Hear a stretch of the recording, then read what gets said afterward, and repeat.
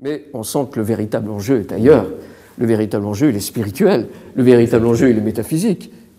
Comment l'homme pourra réaliser sa relation au principe et découvrir ce qui en lui participe du soi, euh, de l'atman, c'est-à-dire de sa véritable identité, dans une civilisation qui collabore et travaille en permanence à le conduire à l'oubli, à la distance avec sa véritable nature, sa véritable identité, l'identifier à son individualité et euh, finalement à euh, la partie la, la, plus rudimentaire et la plus factuelle, la moins intéressante de lui, et qui va créer en réalité des mécaniques finalisées, des robots. C'est la France contre les robots de Bernanos, dans d'une certaine manière, et euh, qui va conduire une humanité de robots, de, de mécaniques, à vivre en étant complètement coupés de leur relation à la transcendance. C'est ça le véritable enjeu.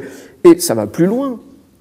C'est que lorsque ces, enfin, ces individus, entre guillemets, vont se mettre à avoir une soif de connaissance, dans l'état où ils seront, forcément, cette soif va être happée par la contre-tradition, celle qui va les conduire dans des pièges. Et d'ailleurs, il évoque euh, cette figure de l'antéchrist, cette figure de, euh, on, va dire, ténébreuse qui, croyant amener vers des domaines spirituels, en réalité va emmener toutes ces âmes vers les, les tréfonds ténébreux avec, hélas, une incapacité de retour, parce que vous pouvez oublier chez Guénon, on n'est pas sur une perspective de salut, mais de délivrance.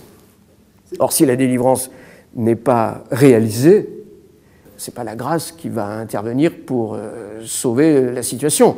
Donc, euh, si la délivrance n'est pas réalisée, c'est de nouveau l'enfermement dans les cycles et c'est le piège qui continue. Or, le sujet, c'est pas de rester enfermé dans le cycle. C'est d'en sortir. Pour, je dirais, le véritable enjeu pour chacun, c'est de s'extraire de la détermination.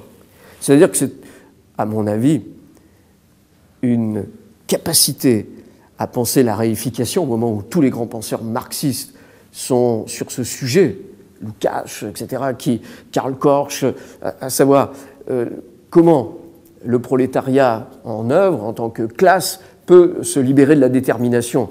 Guénon, c'est en réalité le, marxisme des étoiles, c'est le marxisme métaphysique, comment les âmes peuvent se libérer du piège de la réification matérielle dans lequel elles sont enfermées, alors même que tout collabore à les emprisonner dans ce monde de matière, puis dans ce monde de corruption de l'esprit.